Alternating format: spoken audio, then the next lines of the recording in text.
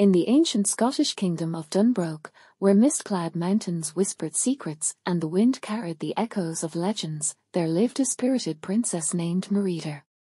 Bravehearts, Merida's quest for freedom unfolds against the backdrop of a land steeped in tradition and the bonds of family.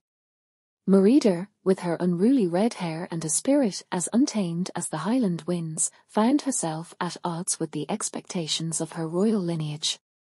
The kingdom, governed by age-old customs, demanded conformity, yet Merida's heart yearned for the freedom to chart her own destiny. The tale began as Merida stumbled upon an ancient tapestry hidden in the castle's depths, depicting a prophecy foretelling of a challenge that would test the bravery of the kingdom's heirs.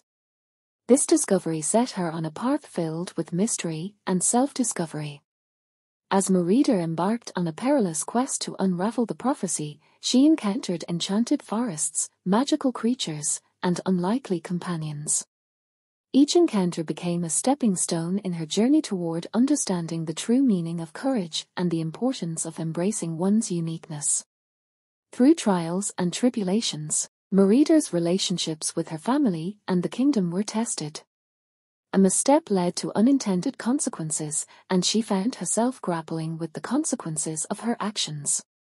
It was in these moments of vulnerability that Merida discovered the strength that lay in vulnerability and the power of redemption.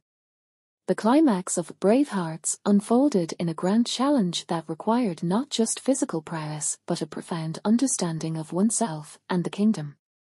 In a display of unmatched bravery, Merida confronted the forces that sought to bind her people to the past, ultimately reshaping the destiny of DunBroch.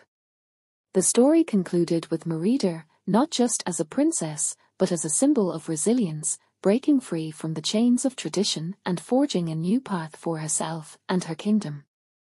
Bravehearts, Merida's quest for freedom, stood as a testament to the indomitable spirit within every heart that longs for freedom and the courage to follow one's own destiny.